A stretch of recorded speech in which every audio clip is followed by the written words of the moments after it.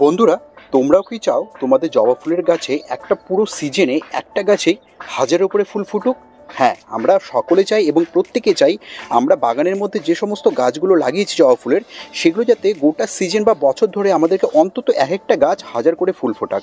যেমন দেখতে পাচ্ছ এখানে আমি তোমাদের সামনে কিছু গাছ কিনেছি, দেখো এক একটা গাছে কি পরিমাণে ফুল ফুটেছে।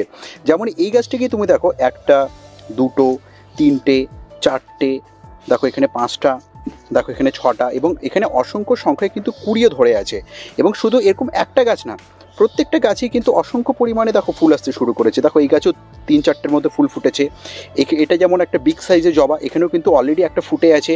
এবং আমি যদি তোমাদেরকে নিচে দেখাই, দেখো এখানে কড়ি ধরে আছে এবং দেখো এখানেও কড়ি ধরে আছে এবং প্রত্যেকটা ডালে, দেখো এই ডালগুলো তো কড়ি ধরে আছে, প্রত্যেকটা ডালে কড়ি ধরে আছে। আমরা যদি গোটা বছর ধরে এক একটা গাছে একদম ভরপুর পরিমাণে ফুল চাই, এরকম দেখতে পাচ্ছ একদম গুচ্ছতে ফুল ধরে আছে প্রত্যেকটা জবা ফুলের গাছে। এরকম ফুল পেতে গেলে কিছু বিশেষ পন্থার মধ্যে দিয়ে কিন্তু আমাদেরকে এই ডিসেম্বর মাস জানুয়ারি মাস এগুলোতে গাছগুলোকে পরিচর্যা করতে হবে। এবং কি পরিচর্যা করব, কি বিশেষ পরিচর্যার মাধ্যমে আমরা গাছগুলোতে এরকম সুন্দর সুন্দর ফুল ডেলি ফোটাতে পারব, সেই বিষয়ে কিন্তু আজকের ভিডিওটা। তাই সম্পূর্ণ ভিডিও দেখার অনুরোধ রইল এবং যে সকল নতুন দর্শক বন্ধুরা আজ বিকাশ গার্নিংয়ে প্রথমবার এসেছ, তারা অবশ্যই চ্যানেলটিকে সাবস্ক্রাইব করবে এবং পাশে দেওয়া বেল আইকনটি অলে প্রেস করে নেবে।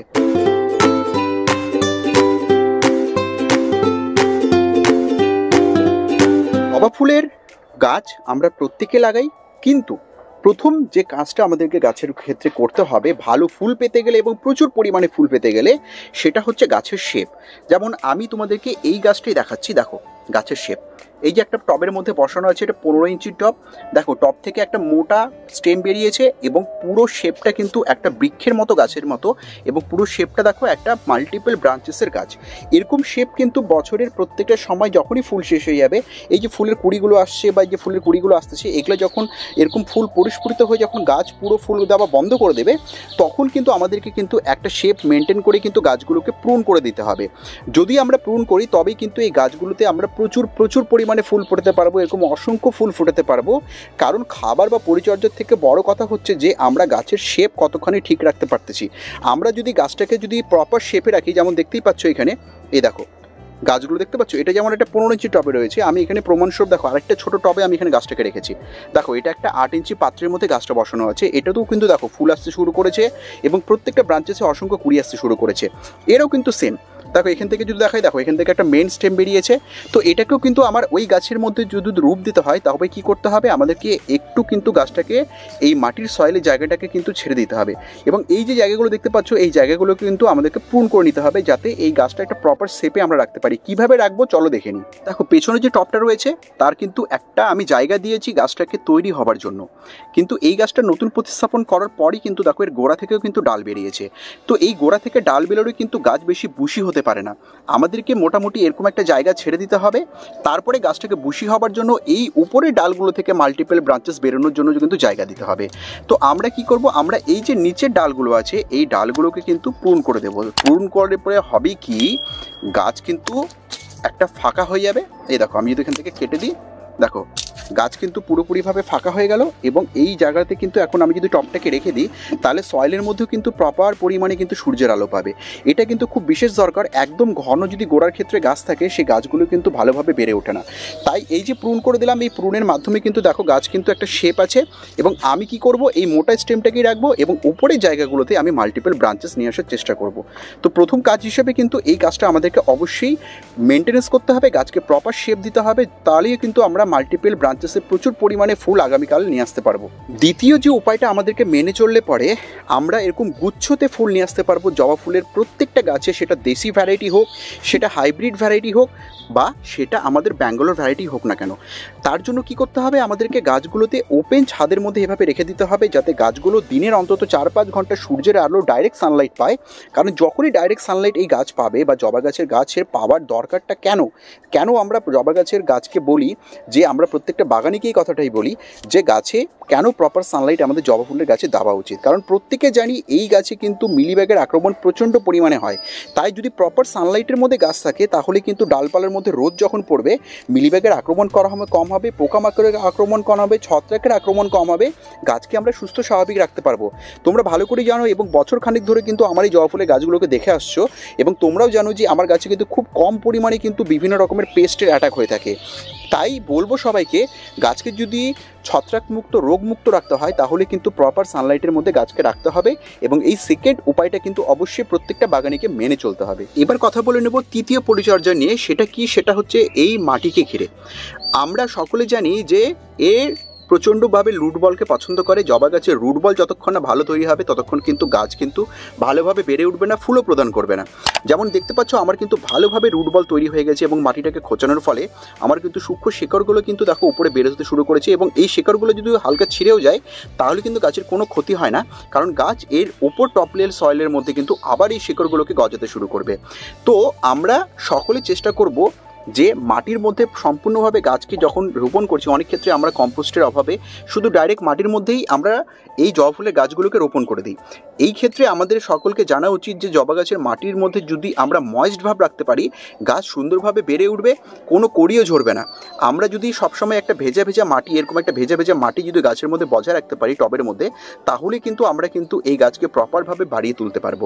তো যাদের কাছে কম্পোস্টের অভাব দেখতে পাচ্ছ তোমরা, তারা যদি চাও এই প্রত্যেকটা টব জবা গাছে যতগুলো টব আছে, সেই টবগুলোতে যদি তোমরা ময়েস্ট মাটিকে রাখতে চাও, তাহলে কিন্তু এটার ব্যবহার করতে পারো। এটা কি? এটা হচ্ছে কোকোপিট কোকোপিট আমরা সকলে জানি নারকেলের ছোবড়ার কিন্তু একটা র্যাশ হয়ে থাকে। এটা কিন্তু মাটিতে মধ্যে জল সংরক্ষণ করে বা জলকে ধরে রাখতে কিন্তু ভীষণ, ভীষণভাবে সহযোগী এবং এ কিন্তু একটা খাবারের মতনও কিন্তু গাছের ক্ষেত্রে কাজ করে থাকে। তাই তোমরাও চেষ্টা করবে যে এই কোকোপিট তোমরা যদি এই টবের মাটির সঙ্গে এক দু মুঠো করে যদি প্রয়োগ করতে পারো, তাহলে কিন্তু তোমাদের এই টবের মাটির মধ্যে কিন্তু আর্দ্রতা ভাব বজায় থাকবে এবং মাটি কিন্তু সবসময় একটা ময়েস্ট ভাব নিয়ে চলবে, কখনো কিন্তু পুরোপুরিভাবে শুকিয়ে যাবে না। তাই জবা গাছকে বাড়তি হতে হলে, জবা গাছকে সুস্থ রাখতে হতে গেলে কড়ি যাতে ঝরে না পড়ে, বেশি পরিমাণে পাতা যাতে হলুদ না হয়ে যায়, তার জন্য কিন্তু তোমরা এই কম্পোস্টের ব্যবহার কিন্তু মানে কম্পোস্ট যাদের কাছে নেই, তারা কিন্তু এই কোকোপিটের ব্যবহার সয়েলের সঙ্গে করতে পারো। তোমরা প্রত্যেকে যদি চাও প্রত্যেক দিন এরকম বিগ সাইজের ফুল হোক বা প্রত্যেকটা আমাদের গাছের মধ্যে এরকম মাল্টিপল কালারের জবা ফুলই হোক ডেলি ফুটে থাকুক, তাহলে এই সময় দাঁড়িয়ে আমাদের গাছের খাবারের ঘাটতিকে মেটানোর জন্য কোন ঘরোয়া খাবার আমরা প্রয়োগ করতে পারি? চলো একবার করে আমরা দেখে নিই। এখানে দেখতে পাচ্ছ পাত্রের মধ্যে কিন্তু একটি আমি তরল খাবার নিয়ে নিয়েছি, যেটাকে আমি কিন্তু লাস্ট চব্বিশ ঘণ্টা ধরে তৈরি করেছি। এটা কিন্তু খোসার তরল খাবার। এটা খোসার তরল খাবার বলতে এর মধ্যে আছে পেঁয়াজের খোসা, এর মধ্যে আছে কলার খোসা এবং এর মধ্যে আছে কি? চায়ের পাতা। ইউজড করা চায়ের পাতা। ইউজড করা চায়ের পাতা আমরা কিন্তু যে কোনো চায়ের দোকান থেকে সংগ্রহ করতে পারি, বাড়িতে নিজেরাও চা সেবন করে থাকি, সে পাতাগুলোকে ফেলে না দিয়ে সেগুলোকে সংরক্ষণ করে আমরা রাখতে পারি এবং তার সঙ্গে কলা খাবার পর সেই খোসাটাকেও সংরক্ষণ করে রাখতে পারি এবং বাড়িতে তো পেঁয়াজ তো সকলেরই মজুদ থাকে, পেঁয়াজের শুকনো খোসাগুলোকে কিন্তু আমরা নিয়ে নিতে পারি।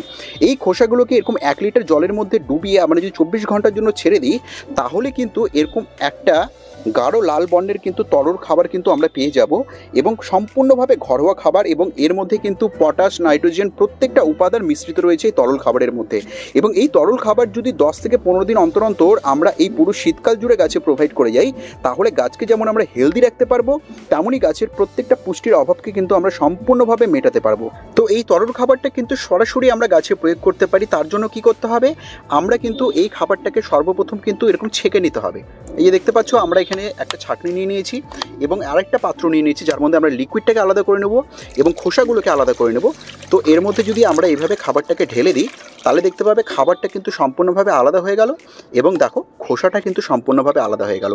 এবং এই খোসার মধ্যে দেখো প্রত্যেকটা উপাদান তোমরা দেখতে পাচ্ছ, চা পাতা আছে, কলার খোসা আছে, পেঁয়াজের খোসা আছে। এবং এই খোসাটাকে ফেলে না দিয়ে আমরা কিন্তু এর থেকে আরেকটা লিকুইড খাবার তৈরি করে নিতে পারি। কারণ এই খোসাগুলো কিন্তু আমরা দুবার গাছের জন্য ব্যবহার করতে পারি।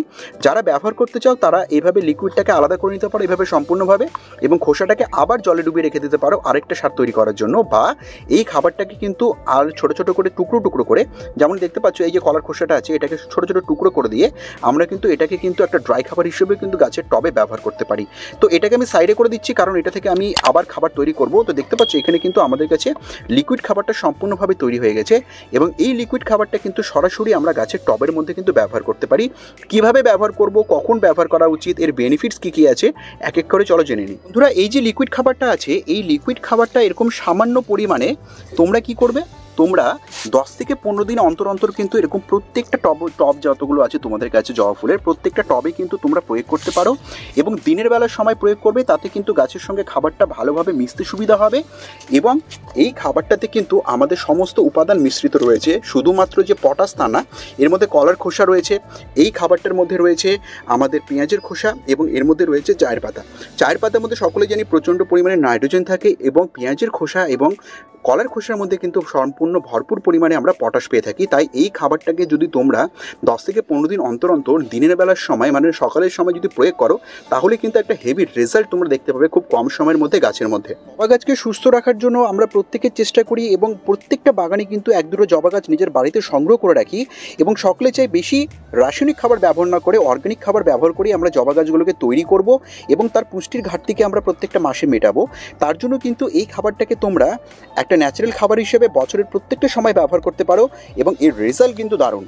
তো এই খাবারটা তোমরা কিন্তু অবশ্যই ব্যবহার করবে এবং আমি নিজেও কিন্তু এই খাবারটাকে সম্পূর্ণভাবে গাছে প্রত্যেকটা মাসে ব্যবহার করে থাকি। তো বন্ধুরা, এটি ছিল আজকের ভিডিও আশা করছি ভিডিও তোমাদের খুব ভালো লেগেছে এবং এতক্ষণ ধরে ধৈর্য দিয়ে ভিডিওটাকে দেখার জন্য তোমাদেরকে অশেষ ধন্যবাদ। এভাবেই আমাদের ভিডিওগুলো দেখতে থাকো, এভাবেই পিকাস গাইনিকে নিজেদের ভালোবাসা দিতে থাকো।